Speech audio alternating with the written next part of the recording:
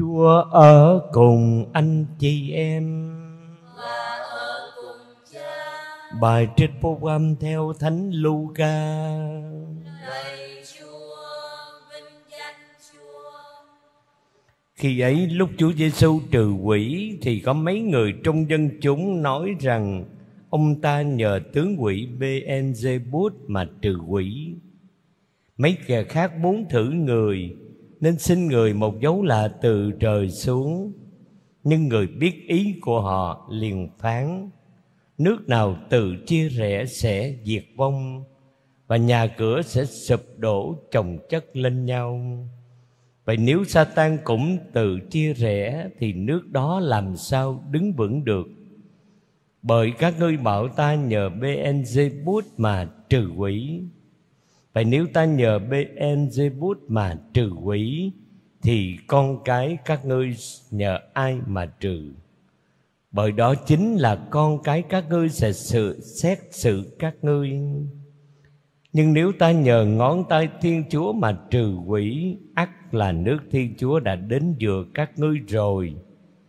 Khi có người khỏe mạnh và võ trang, đầy đủ canh giữ nhà mình thì của cải người đó được an toàn.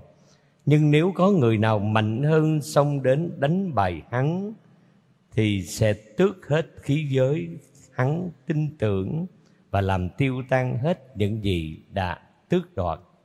Ai không thuận với ta là nghịch cùng ta, và ai không thu góp với ta là phân tán. Khi thần ô uế ra khỏi người nào thì nó đi dông dài những nơi khô ráo tìm chỗ nghỉ ngơi. Nhưng không tìm được nên nó nói rằng ta sẽ trở lại nhà ta, nơi ta đã ra đi.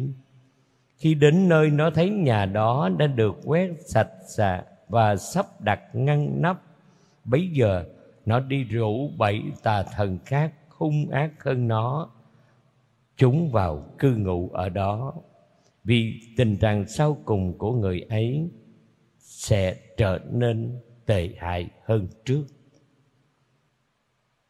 Đó là lời chúa. Lạy Chúa Kitô ngợi khen Chúa.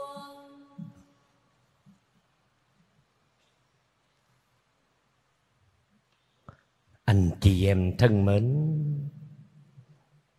trong bài phúc âm mà chúng ta vừa nghe, Chúa Giêsu đã biểu lộ quyền năng Thiên Chúa bằng việc chữa lành cho một người bị câm do quỷ câm khống chế. Chúa đã làm một phép lạ cách rõ ràng trước mặt dân chúng. Qua phép lạ đó thì có nhiều người đã tin vào quyền năng của Thiên Chúa. Nhưng vẫn còn có những người cứng lòng tin, họ cố chấp nên đã không thể nhận ra sự thật cho dù chính mắt họ trông thấy phép lạ đó. Họ đã nhục mạ và có vẻ chế giễu Chúa Ông này dùng quyền năng của quỷ vương Beelzebub mà trừ quỷ. Và Chúa Giêsu dường như không quá bận tâm đến những lời mạ lì của họ. Ngài bình thản và đưa ra lập luận để bẻ gãy những lời xuyên tạc đó. Và Chúa nói rằng, nước nào tự chia rẽ thì sẽ điêu tàn. Nếu Satan cũng tự chia rẽ chống lại chính mình, thì nước đó tồn tại sao được? Nhưng điều đó chưa phải là mối bận tâm lớn nhất của chúa. Trọng tâm duy nhất của chúa đó là loan báo tin mừng nước thiên chúa. Nếu tôi dùng ngón tay thiên chúa mà trừ quỷ thì quả là triều đại nước thiên chúa đã đến giữa các ông và Chúa Giêsu cũng cảnh cáo các môn đệ của Ngài là phải luôn biết chuẩn bị tâm hồn cho cỏ Chúa. nếu không, thì quỷ sẽ kéo đến ngày càng nhiều và tình trạng tâm hồn sẽ càng ngày càng bi đát hơn.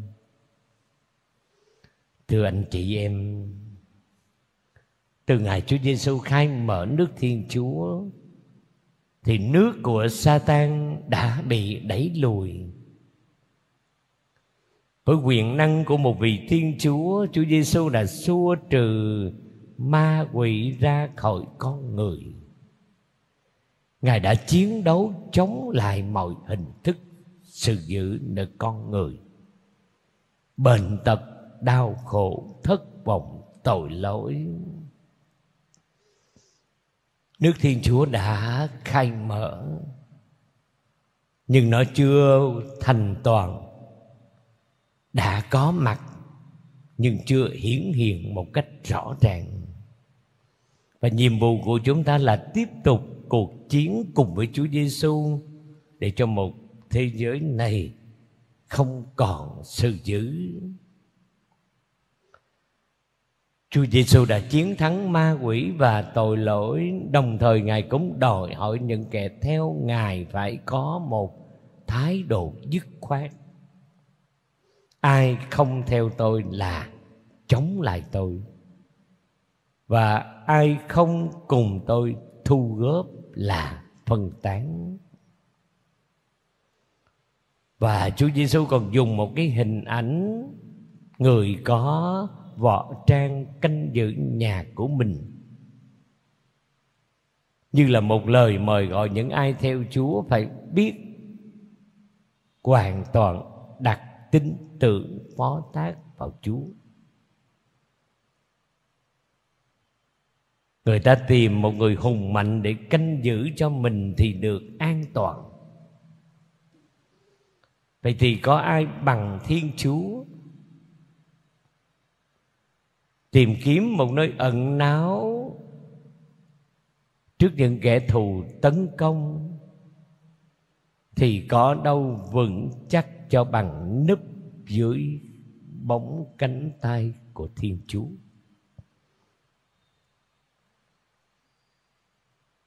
Anh chị em thân mến, Lời Chúa hôm nay đòi hỏi mỗi người chúng ta cần phải khiêm tốn cầu xin Chúa ban cho mình ơn đức tin. Để chúng ta có thể nhận ra đâu là ý nghĩa của dấu là và được củng cố trong đức tin. Trước dấu là của thiên chúa, con người chỉ có một trong hai thái độ, đó là tin hay là không tin chấp nhận hay là từ chối? Và một khi đã tin rồi, người môn đề phải góp phần của mình làm cho đức tin đó được phát triển, được vững mạnh hơn. Nếu không thì tình trạng bị mất đức tin sau đó sẽ trở thành tồi tệ hơn trước. Ma quỷ tấn công trở lại mạnh mẽ hơn một cách cụ thể là chúng ta hãy quyết tâm mỗi khi tham dự các bí tích với đức tin và lòng mộ mến chân thành. Bởi vì ở nơi đó chúng ta sẽ gặp được Chúa Giêsu đang có mặt để tha thứ, để chữa lành, để nuôi dưỡng và thêm sức mạnh cho chúng ta. Lời chúa hôm nay chất vấn chúng ta. Có bao giờ chúng ta cứng lòng tin? Cố chấp đến nỗi đã từ chối sự hiện diện của chúa trong cuộc đời của mình hay không? Lạy Chúa Giêsu, Chúa hằng luôn mong muốn đến gần chúng con, đi vào đời sống chúng con để tiếp tục ban ơn cho chúng con. Xin Chúa ban thêm cho chúng con đức tin, đức cày và đức mến để mỗi ngày sống chúng con biết nhận ra sự hiện diện của Chúa trong chính đời sống của chúng con. Amen. Kính thưa quý ông bà anh chị em, Trong tác phẩm Tam Quốc Diễn Nghĩa, Chu Du vì ghen tức Gia Cát Lượng, tài trí hơn mình, nên đã rất nhiều lần đang tâm hãm hại mà không được. Cuối cùng Chu Du uất hận mà chết. Chứng kiến phép lạ Đức Giêsu trừ quỷ thì nhiều người Do Thái vẫn không tin nhận người là Thiên Chúa. Vì sự ích kỷ, ghen ghét và đố kỵ, họ đã không để cho lòng thương xót của Chúa đụng chạm và biến đổi tâm hồn của mình. Tin mừng thuật lại cho chúng ta việc Đức Giêsu trừ một tên quỷ và nó là quỷ câm. Khi quỷ xuất rồi thì người câm nói được và đám đông hết sức ngạc nhiên. Nhưng trong số đó có mấy người lại bảo, ông ấy vừa thế quỷ vương Beelzebub mà trừ quỷ. Đức Giêsu đã đảo lộn lập luận của người Do Thái bằng cách trừ quỷ. Ngài đã khai mở kỷ nguyên của triều đài nước Thiên Chúa. Bằng chính hành động của Đức Giêsu, sự thống trị của Satan đã đến hồi chấm dứt. Nếu tôi dùng ngón tay Thiên Chúa mà trừ quỷ, thì quả là triều đại Thiên Chúa đã đến giữa các ông rồi. Ngày hôm nay, nhiều người cũng chối từ sự hiện diện của Thiên Chúa. Họ khép lòng mình lại trước sự mời gọi hoán cải tâm hồn. Một lời mời gọi dẫn đến cuộc sống ngập tràn ánh sáng của Thiên Chúa. Lời Chúa mời gọi tất cả chúng ta hãy loại bỏ tính đố kỵ và luyện tập cho mình có một tâm hồn bén nhạy, ngõ hầu nhận ra được lời mời gọi hoán cải của Thiên Chúa. Lời Chúa có sức mạnh xua đuổi ma quỷ ra khỏi tâm hồn của mỗi người chúng ta, giúp chúng ta hành hình thành một đức tin xây dựng đời sống và đó là ánh sáng soi đường, là lương thực nuôi dưỡng linh hồn của chúng ta. Lời Chúa chính là lương thực cần thiết không thể thiếu cho sự sống đời đời ngay từ hôm nay. Như lời Chúa nói với tất cả mọi người chúng ta. Người ta sống không nguyên bởi bánh, nhưng còn bởi mọi lời do miệng Thiên Chúa phán ra. Chúng ta được Chúa mời gọi hãy dùng lời của Ngài để chiến thắng ma quỷ và giúp người khác thoát khỏi sự thống trị của ma quỷ. Đó cũng là phương thế để giúp chúng ta hoán cải và đặt niềm tin vào Đức Giêsu Kitô. Ngài chính là đấng Emmanuel, Thiên Chúa ở cùng chúng ta. Xin mẹ Maria dìu dắt chúng ta đến với Chúa Giêsu và xin mẹ giúp chúng ta đáp lại lời mời gọi của mẹ năm xưa tại Fatima. Hãy siêng năng cầu nguyện, siêng năng lần hạt mân côi và tỏ lòng ăn năn thống hối. Đây chính là phương thế để giúp cho chính bản thân chúng ta cũng như những người chung quanh biết hoán cải đời sống của mình, biết nhận ra sự hiện diện của Thiên Chúa và sự bình an sẽ đến trong tâm hồn của mỗi người chúng ta. Amen.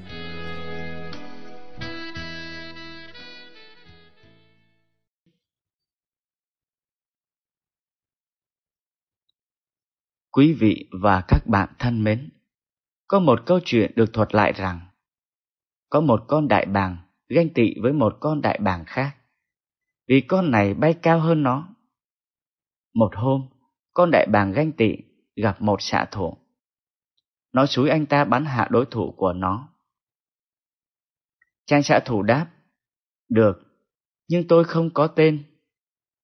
Con đại bàng nhổ một cọng lông cánh đưa cho chàng xạ thủ làm tên. Nhưng chàng bắn hụt. Vì quyết tâm hạ đối thủ của mình, con đại bàng ganh tị lại nhổ thêm một cọng nữa, rồi một cọng nữa. Cho tới khi hai cánh nó trụi hẳn. Nó không bay được nữa, chàng xạ thủ không bắn được con kia, nên bắt lấy con đại bàng trụi cánh về làm thịt. Quý vị và các bạn thân mến, câu chuyện ngắn trên cho chúng ta thấy rằng chỉ do ganh tị về tài năng của con khác nên con đại bàng ganh tị đã tìm đủ mọi mưu mô để hại con đại bàng kia. Và cuối cùng phải chịu hậu quả thật nặng nề. Bài tin mừng hôm nay cũng đề cập đến lòng ganh tị hay đố kỵ của một số người trước hành động trừ tà của Chúa Giêsu. Sau khi Chúa Giêsu làm phép lạ trừ một quỷ câm, dân chúng phản ứng ba cách khác nhau. Nhóm thứ nhất, đa số ngạc nhiên, nghĩa là thán phục. Nhóm thứ hai xuyên tạc rằng Ngài đã dựa thế quỷ vương Beelzebul để trừ quỷ nhỏ. Nhóm thứ ba nửa tin nửa ngờ, nên muốn có một dấu lạ từ trời, để chứng nhận Chúa Giêsu chính là người mà trời sai xuống. Như vậy, nhóm 2 và nhóm 3 đã không chấp nhận quyền năng của Chúa. Lòng ganh tị đã làm họ bị mù quáng. Chẳng những họ không nhận ra ý nghĩa việc Ngài trừ quỷ, mà còn xuyên tạc rằng Ngài làm như thế là dựa vào sức quỷ vương. Lòng ganh tị hay đố kỵ không chỉ xuất hiện thời Chúa Giêsu, nhưng còn xuất hiện ở mọi thời đại. Trong cuộc sống, hầu như khó ai tránh được cảm giác ghen tị hay đố kỵ. Sự ganh tị thực sự có thể hủy hoại tình cảm, là rào cản tiến sâu vào các mối quan hệ xung quanh. Một số dấu hiệu chứng tỏ chúng ta đang đố kỵ, đó là chúng ta liên tục so sánh bản thân với bạn bè hay đồng nghiệp và nghĩ về khuyết điểm của mình. Hoặc chúng ta đang yêu ai đó và không thể chịu đựng việc người ấy tiếp xúc hay nói chuyện với các đối tượng khác. Hơn nữa, đối với người môn đệ Chúa, sự ghen tị còn thể hiện ở việc chúng ta không hài lòng với những gì Thiên Chúa đã ban cho chúng ta. Qua bài tin mừng hôm nay, Chúa Giêsu mời gọi chúng ta cần dẹp bỏ sự ganh tị và chấp nhận khả năng của người khác. Muốn làm được như thế, chúng ta phải nhìn lại mình và thừa nhận là mình có đố kỵ và muốn xua tan sự đố kỵ đó. Và chúng ta cũng cần hiểu rõ tại sao mình lại bắt đầu có những cảm xúc như vậy. Hơn nữa, chúng ta nên tạ ơn Chúa vì những gì Chúa đã ban cho mình và nên tự hào về công việc của mình dù có cực nhọc. Nhờ nhận ra những giá trị tốt đẹp nơi mình mà Chúa đã trao và hết lòng theo đuổi mục tiêu và sở thích của mình, chúng ta sẽ bớt ganh tị với những gì người khác đang làm hay người khác có. Chúng ta cần luyện tập hàng ngày để mỗi ngày hoàn thiện hơn. Lạy Chúa, xin cho chúng con biết cố gắng dẹp bỏ tính ghen tị để chúng con sống chan hòa hơn với mọi người và biết sống cảm tạ Chúa vì những gì Ngài đã ban cho chúng con. Amen.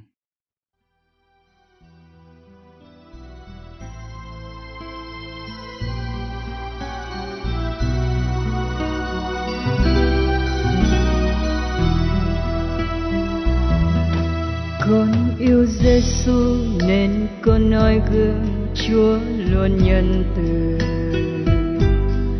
con yêu Giêsu nên con vui tươi dù đời sông tố con yêu Giêsu nên con ghi tâm điều dân Chúa dạy. Con yêu Giêsu nên con quyết thực thi trọn chữ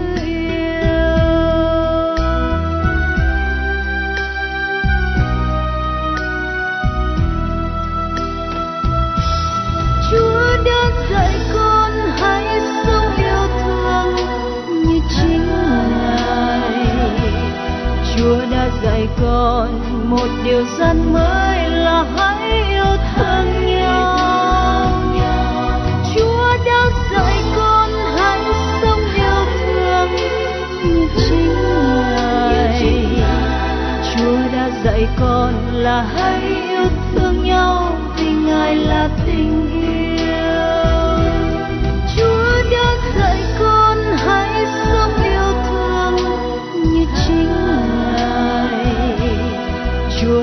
lại còn một điều rất mới là hãy yêu thương nhau. Chúa đã dạy con hãy sống yêu thương như chính Ngài. Chúa đã dạy con là hãy yêu thương nhau vì Ngài là tình Quý ông bà và anh chị em thân mến sau hai trình thuật, Đức Giêsu dạy các môn đệ cách thức và tinh thần cần có khi cầu nguyện. Thánh Luca kể tiếp về thái độ và phản ứng của dân chúng khi chứng kiến Đức Giêsu trừ một tên quỷ câm, chính là trích đoạn tin mừng hôm nay. Phần đông trong số họ cảm thấy ngạc nhiên, nhóm khác thì nửa tin nửa ngờ, nên đã đòi người một dấu lạ từ trời nhằm chứng minh người là đấng từ trời mà đến. Nhưng nổi trội hơn cả là nhóm người ganh tị và xuyên tạc rằng ông ấy dựa thế quỷ vương Beelzebul mà trừ quỷ. Khi những kẻ chống đối Đức Giêsu không thể tìm được cách để ngăn cản người, họ đã đều rao các quyền năng của người trên quỷ thần là do liên minh với Beelzebul, mà Beelzebul được coi là quỷ vương, kẻ đứng đầu các quỷ. Đáp lại những lời cáo buộc này, Đức Giêsu đã đưa ra hai lập luận sắc bén. Trước hết, người nói, nước nào tự chia rẽ thì sẽ điêu tàn, nhà nọ đổ xuống nhà kia. Nếu Satan cũng tự chia rẽ chống lại chính mình, thì nước nó tồn tại sao được? Không một nước nào nội chiến mà đứng vững được. Nếu quỷ vương cho mượn quyền lực của nó để đánh bại chính tay chân của nó, thì nó đã thất bại thực sự rồi. Kể đó, Đức Giêsu tiếp tục, nếu tôi dựa thế bế Enzebul mà trừ quỷ, thì còn cái các ông dựa thế ai mà trừ? Vào thời Đức Giêsu, chính do Thái giáo cũng trừ quỷ, nhưng các Pharisêu đầu gán cho ma quỷ. Vậy, họ dựa vào đâu mà nói quyền năng của Đức Giêsu là do liên minh với quỷ vương? Quý ông bà và anh chị em thân mến, những kẻ chống đối đã cáo buộc Đức Giêsu dùng quyền năng của quỷ vương mà trừ quỷ, dù rằng chỉ Thiên Chúa và những ai người ban cho mới có quyền ấy. Nhìn hành động của họ, chúng ta chờ giật mình khi thấy bóng hình của mình trong đó, bởi lẽ chúng ta cũng hay xuyên tạc tha nhân nhằm hạ bệ hoặc làm cho họ mất danh dự. Do đó, mượn câu hỏi của Đức Giêsu hôm nay, chúng ta cũng hãy cật vấn bản thân. Có khi nào chúng ta nghĩ xấu về người khác hay chưa? Có khi nào chúng ta cố ý gán ghép điều xấu cho người khác hay chưa? Có khi nào trong những lúc trả dư tù hậu, chúng ta lặp đi lặp lại những câu chuyện xuyên tạc ác ý, những tiếng đồn tai hại cho người khác hay chưa? Vì thế, mỗi lần chứng kiến những việc tốt điều lành của người khác, hãy thành tâm khen ngợi tài năng của họ. Đừng để tính kiêu ngạo ghen tương làm mờ mắt, khiến chúng ta khinh thường hoặc phủ nhận những gì họ đã làm. Lạy Chúa, xin đừng để thói ganh ghét tị hiềm cùng những lời vu khống xuyên tạc, khiến chúng con đánh mất chính mình, đánh mất anh chị em của chúng con. Nhưng phải biết dùng lời hay ý đẹp mà xây dựng cộng đoàn. Amen.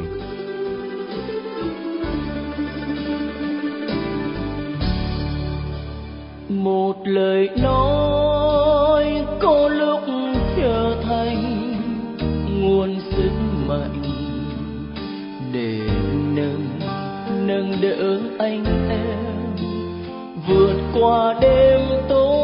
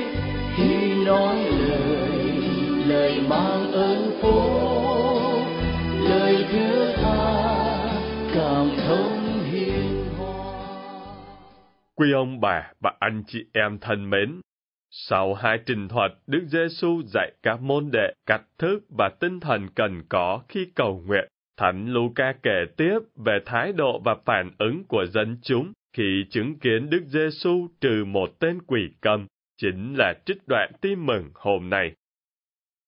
Phần đông trong số họ cảm thấy ngạc nhiên. Nhóm khác thì nửa tin nửa ngờ, nên đã đòi người một dấu lạ từ trời, nhằm chứng minh người là đấng từ trời mà đến. Nhưng nổi trội hơn cả là nhóm người ganh tị và xuyên tạc rằng ông ấy dựa thế quỷ vương Beelzebul mà trừ quỷ. Khi những kẻ chống đối Đức Giêsu không tìm được cách để ngăn cản người, họ đã rêu rao các quyền năng của người trên quỷ thần là do liên minh với Beelzebul mà Beelzebul được coi là quỷ vương kẻ đứng đầu các quỷ. Đáp lại những cáo buộc này, Đức Giêsu đã đưa ra hai lập luận sắc bén. Trước hết, người nói, nước nào tự chia rẽ thì sẽ điêu tàn, nhà nọ đổ xuống nhà kia. Nếu Satan cũng tự chia rẽ chống lại chính mình, thì nước nó tồn tại sao được? Không một nước nào nội chiến mà đứng vững được, nếu quỷ vương cho mượn quyền lực của nó để đánh bại chính tay chân của nó, thì nó đã thất bại thật sự rồi. Kế đó, Đức Giêsu tiếp tục, nếu tôi dựa thế Beelzebul mà trừ quỷ, thì con cái các ông dựa thế ai mà trừ? Vào thời Đức Giêsu, chính do Thái giáo cũng trừ quỷ, nhưng các Pharisêu đầu gán cho ma quỷ Vậy họ dựa vào đâu mà nói quyền năng của Đức Giêsu là do liên minh với quỷ vương? Quý ông bà và anh chị em thân mến, những kẻ chống đối đã cáo buộc Đức Giêsu dùng quyền năng của quỷ vương mà trừ quỷ, dù rằng chỉ có Thiên Chúa và những ai người ban cho mới có quyền ấy. Nhìn hành động của họ, chúng ta chợt giật mình khi thấy bóng hình của mình trong đó. Bởi lẽ, chúng ta cũng hay xuyên tạc tha nhân nhằm hạ bệ hay làm họ mất danh dự. Do đó, mượn câu hỏi của Đức Giêsu hôm nay, chúng ta cũng hãy cật vấn bản thân. Có khi nào chúng ta nghĩ xấu về người khác hay chưa? Có khi nào chúng ta cố ý gán ghép điều xấu cho người khác hay chưa? Có khi nào trong những lúc trà dư tủ hậu, chúng ta lặp đi lặp lại những câu chuyện xuyên tạc ác ý, những tiếng đồn tai hại cho người khác hay chưa? Mỗi lần chứng kiến những việc tốt điều lành của người khác, chúng ta hãy thành thật khen ngợi tài năng của họ. Đừng để tính kiêu ngạo ghen tương làm mờ mắt khiến chúng ta khinh thường hoặc phủ nhận những gì họ đã làm. Lạy Chúa, xin đừng để thói gắn ghét tị hiểm cùng với những lời vu khống xuyên tạc khiến chúng con đánh mất chính mình, đánh mất anh chị em của chúng con. Nhưng biết dùng lời hay ý đẹp mà xây dựng cộng đoàn. Amen.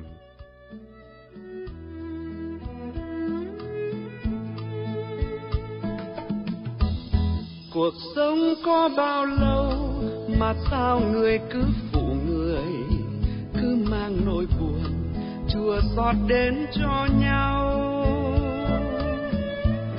Sao không là tín yêu, sao không là nắng ấm, sao không là lời yêu thương trên môi nền từng bước chân ta qua, thoáng nghe những tiếng thở dài.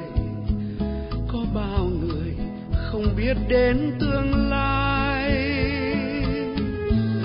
Bao người đi trong gió sương, bao người bôn ba bốn phương. Bao mảnh đời nghiệt ngã, đau thương. Hãy nhìn lại một chút thôi. Hãy mở lòng một chút thôi. Thì cuộc đời đâu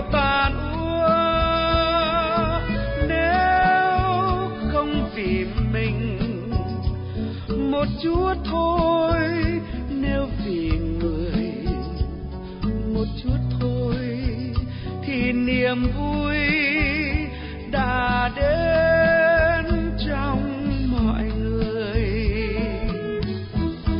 Dù rất muốn em ơi, làm sao thay đổi phận người, nên đôi lần ta cũng muốn quên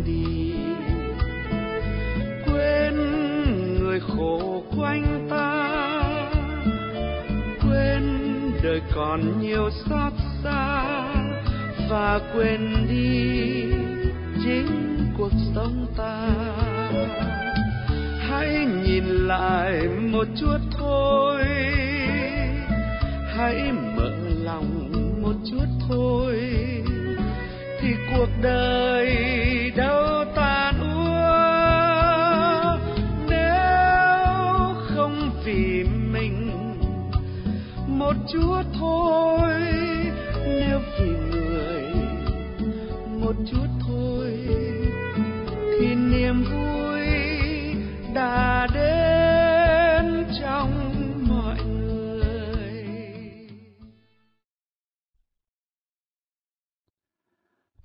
và các bạn thân mến, có một câu chuyện được thuật lại rằng, có một con đại bàng ganh tị với một con đại bàng khác, vì con này bay cao hơn nó.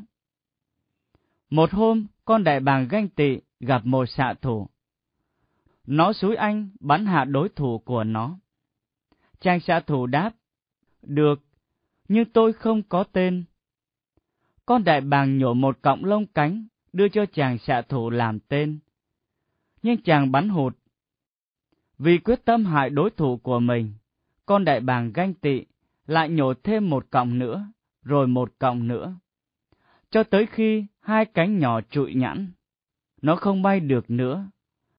Chàng xạ thủ không bắn được con kia, nên bắt lấy con đại bàng trụi cánh về làm thịt.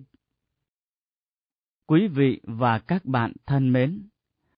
Câu chuyện ngắn trên cho chúng ta thấy rằng, chỉ do ganh tị về tài năng của con khác, nên con đại bàng ganh tị đã tìm đủ mọi mưu mô để hại con đại bàng kia, và cuối cùng phải chịu hậu quả thật nặng nề. Bài tin mừng hôm nay cũng đề cập đến lòng ganh tị hay đố kỵ của một số người trước hành động trừ tà của Chúa Giêsu. Sau khi Chúa Giêsu làm phép lạ trừ một quỷ câm, dân chúng phản ứng ba cách thức khác nhau. Nhóm thứ nhất, đa số ngạc nhiên, nghĩa là thán phục. Nhóm thứ hai xuyên tạc rằng, Ngài đã dựa thế quỷ vương Beelzebul để trừ quỷ nhỏ. Nhóm thứ ba nửa tin nửa ngờ, nên muốn có một dấu lạ từ trời để chứng nhận Chúa Giêsu chính là người mà trời sai xuống. Như vậy, nhóm thứ hai và nhóm thứ ba đã không chấp nhận quyền năng của Chúa. Lòng ganh tị đã làm cho họ mù quáng. Chẳng những họ không nhận ra ý nghĩa của việc Ngài trừ quỷ, mà còn xuyên tạc rằng Ngài đã làm như thế là dựa vào sức quỷ vương. Lòng ghen tị hay đố kỵ không chỉ xuất hiện thời Chúa Giêsu nhưng còn xuất hiện ở mọi thời đại. Trong cuộc sống, hầu như khó ai tránh được cảm giác ghen tị hay đố kỵ. Sự ganh tị thực sự có thể hủy hoại tình cảm và là rào cản tiến sâu vào các mối quan hệ xung quanh. Một số dấu hiệu chứng tỏ chúng ta đang đố kỵ, đó là chúng ta liên tục so sánh bản thân với bạn bè, gia đình, đồng nghiệp và nghĩ về khuyết điểm của mình. Hay chúng ta đố kỵ một người nào đó và không thể dừng việc mong ước có được trang phục, diện mạo và dáng vẻ của người đó. Hoặc chúng ta đang yêu ai đó và không chịu đựng được việc người ấy tiếp xúc hay nói chuyện với các đối tượng khác giới. Hơn nữa, đối với người môn đệ Chúa, sự ghen tị còn thể hiện ở việc chúng ta không hài lòng với những gì Thiên Chúa đã ban cho chúng ta. Qua bài tin mừng hôm nay, Chúa Giêsu mời gọi chúng ta cần dẹp bỏ sự ganh tị và chấp nhận khả năng của người khác. Muốn làm được như thế, chúng ta phải nhìn lại mình và thừa nhận rằng mình có đố kỵ và muốn xua tan sự đố kỵ đó.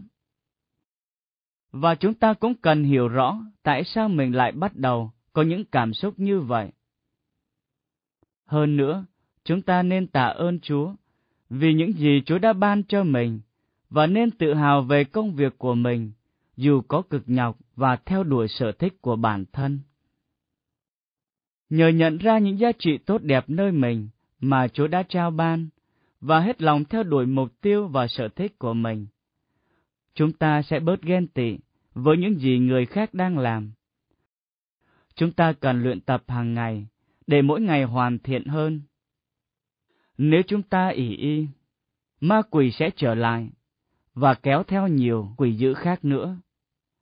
Rốt cuộc, tình trạng của chúng ta càng trở nên tệ hại hơn, như Chúa Giêsu đã nói trong bài tin mừng hôm nay. Lạy Chúa, xin cho chúng con biết cố gắng dẹp bỏ tính ghen tị, để chúng con sống chan hòa với mọi người. Amen.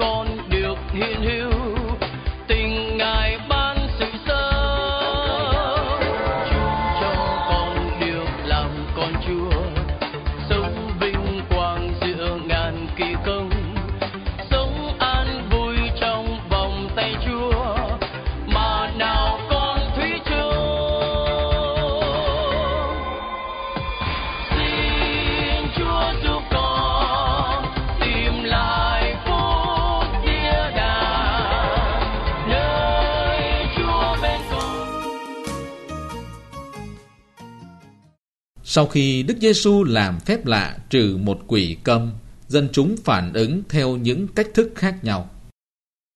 Nhiều người ngạc nhiên, một số người xuyên tạc, một số khác lại nửa tin nửa ngờ nên muốn có một dấu lạ từ trời để xác nhận lại.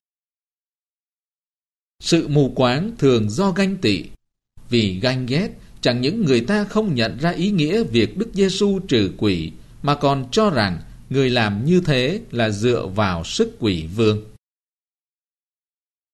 Chúa Giêsu mặc khải rõ sứ mệnh của Ngài khi Ngài dùng quyền năng mà trừ quỷ.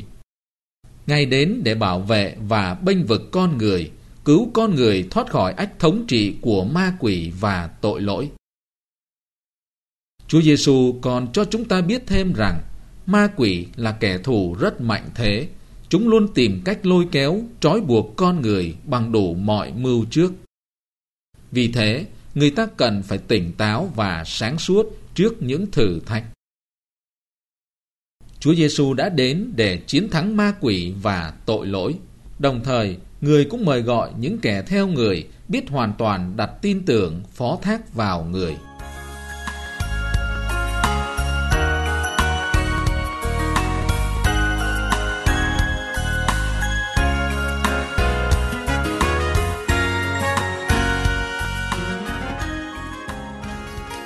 Lạy cha, Chúa Giêsu con cha đã dạy chúng con phải cầu nguyện luôn để khỏi xa trước cám dỗ. Giữa cuộc sống đầy hấp dẫn và lôi kéo của thế trần, xin cho chúng con cũng biết noi gương Ngài, luôn gắn bó với cha, cầu nguyện cùng cha, để chúng con được sức mạnh chiến thắng trong cuộc chiến với ma quỷ. Amen.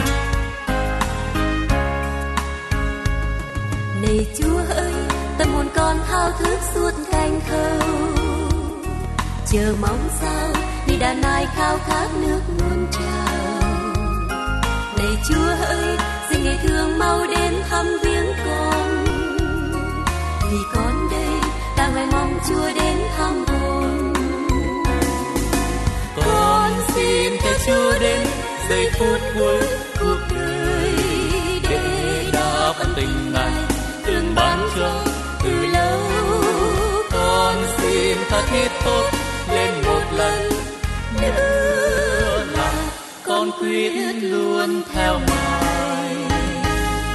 Này chúa hỡi xin ngài thứ ban phúc cho con luôn.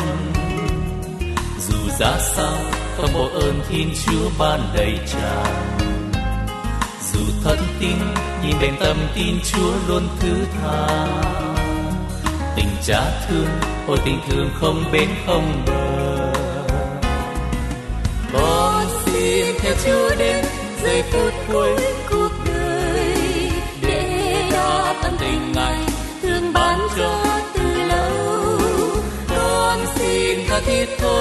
lên một lần. Nữa là con tuyết luôn theo ngài. Con xin cho chúa